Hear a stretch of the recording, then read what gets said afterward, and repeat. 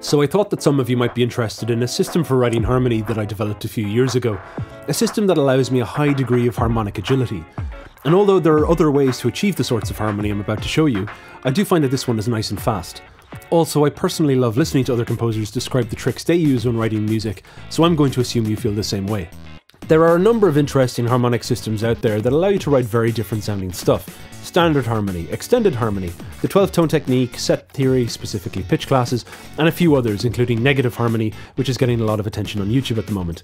Thing is, once you get comfortable with these harmonic systems, you begin to notice some similarities and points of crossover. At the core of what's important about all these systems is the interval, the distance between two notes. It's fine to look at two notes and say, these are three semitones apart, but if you replace them with octachords, then you suddenly find yourself with an unmanageable amount of intervals to keep track of. But why do harmonic systems exist? Well, if you try to just forge ahead with your music without paying attention to how your intervals are working, you can very easily get bogged down in inconsistent, repetitive, or meandering harmony.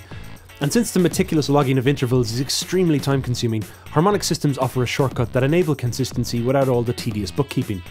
So the aims of the system I'm about to show you are 1. To give the composer the maximum amount of harmonic flexibility, anywhere from pure atonality to perfect harmoniousness.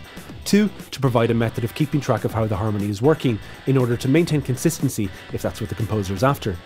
And 3. Not to be too abstract and slow, allowing composers to use their ears without getting too bogged down in the hardcore cataloguing of intervals. So to begin, let's take a quick look at the famous Petrushka chord, used by Igor Stravinsky in his ballet Petrushka. This is a combination of C major and F sharp major, two chords that sound extremely dissonant against each other.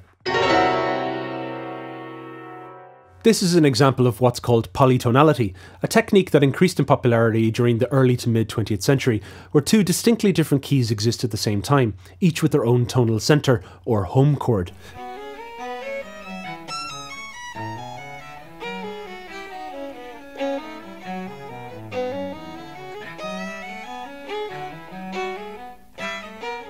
But our concern here isn't to simply play two harmonic tonal centres against each other. If we play C and F sharp major at the same time, we're listening to a single complex chord. And if we stick with piano writing for a second, what if I assign C to my right hand and F sharp to my left hand in the first bar, and then swap them around in the second? The quality of either chord is quite different. This swapping hides the individual tonal centres, and what we're listening to sounds like just two complex chords.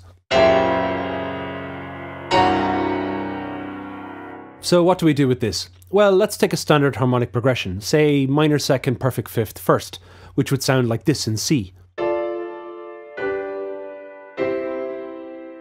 And instead, we're going to apply it to both keys at the same time while continuing to swap them between hands.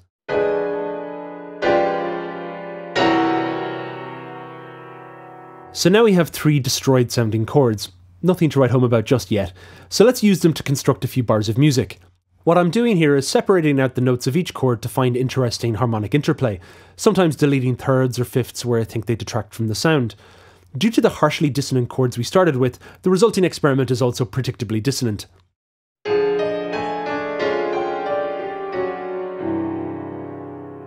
Ah, how lovely.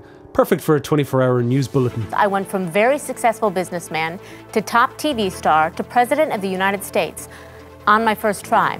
I think that would qualify as not smart but genius, and a very stable genius at that. So what if we'd like something harmonious sounding? Well, then we could use two keys that have more notes in common, say G major and B minor, and following the same process as before, bearing in mind that the chords in a minor scale work a little differently, I've chosen the following sequence for both keys, a first, a fifth, a second, a sixth, and then a first again. The resulting sequence is pretty easy on the ears.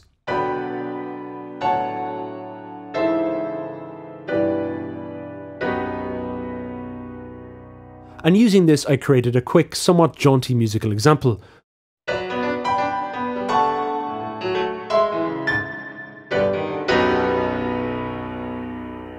And this is really only scratching the surface of what you can do.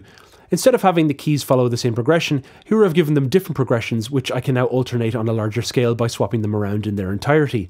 And if you're the kind of writer who loves harmonic symmetry, this is a lovely system to try out.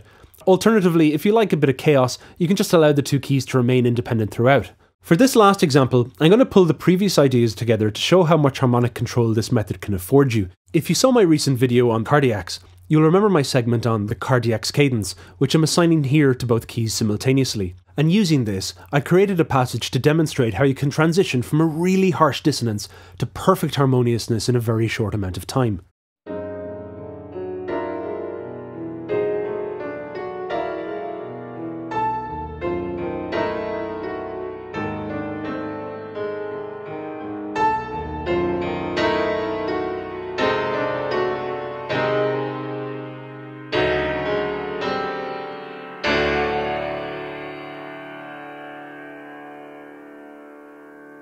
So that's the basics of how this system works. There's a lot more detail to go into, especially how it can be used for writing in other styles like rock or metal. If you're interested in learning more, or if you want me to do a Q&A session, then send me your questions and I'll respond to them in another video. If you'd like to hear some of my music that uses this system, then look through my videos for a piece called Three Barriers to Concentration, which was written for solo piano.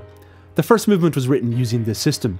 And if you want to keep up to date with my future music tutorials, then please subscribe. And if you like this video, blah blah blah, you know the drill.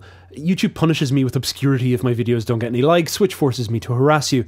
Uh, sorry, don't hold it against me, we're all friends here.